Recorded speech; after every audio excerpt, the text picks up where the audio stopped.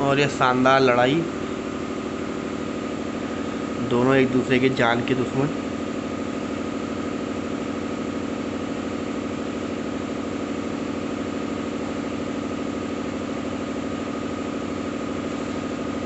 mask ना लगाने के उपरांत लड़ते हुए